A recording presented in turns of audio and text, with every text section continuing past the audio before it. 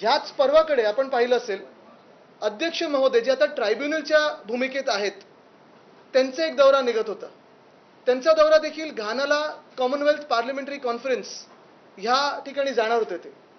आणि नक्की प्रश्न हाच आम्ही सर्वांनी विचारला. मग मी असेल संजय राऊत साहेब असतील अनिल परब साहेब असतील सुभाष देसाई साहेब असतील आम्ही सगळ्यांनीच विचारलं की हा जोक आहे का हा विनोद नाही आहे का की तुम्ही सांगता की आम्ही पार्लमेंटरी कॉन्फरन्सला जाऊन बोलणार आहोत? आणि इथे जी पार्लमेंटरी डेमोक्रेसी आहे त्याची हत्या तुम्ही करत आहात. म्हणजे पेशंट टेबलवर आहे आणि तुम्ही चाललात तिथे कॉन्फरन्स करायला. मूळ मुद्दा हाच येतो की स्वतःच्या राज्यात तुम्ही लोकशाही मारत आहात. तुम्ही डिले करत आहात. Justice delayed is justice denied जे आपण बोलत असतो. आत्ता अध्यक्ष नुसतं अध्यक्ष नाही ट्रायब्युनलच्या भूमिकेत आहेत. आणि तुम्ही अशा महत्त्वाच्या भूमिकेत असताना सुप्रीम कोर्टाने सर्वोच्च न्यायालयाने हा निकाल मे मध्ये दिल्यानंतर एक महिना दोन महिने तीन महिने चार महिने तुम्ही लांबणीवर ठेवता आणि अजूनही सांगता की अजून विषय पुढे जाईल.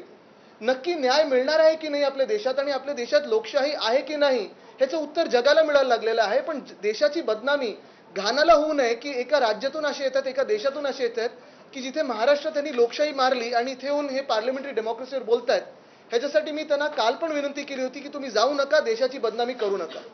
ह्याचा परिणाम हा झालेला आहे की बरोबर दोन दौरे ज्याला काही अजेंडा नव्हता असे हे दोन दौरे हे रद्द करण्यात आलेले आहेत. आता माझं इम्पॅक्ट बोला किंवा तुमचा इम्पॅक्ट असेल काही असेल पण जनतेचा दबाव ह्या घटना बाहेर सरकारवर बसला आणि त्यांना हे दोन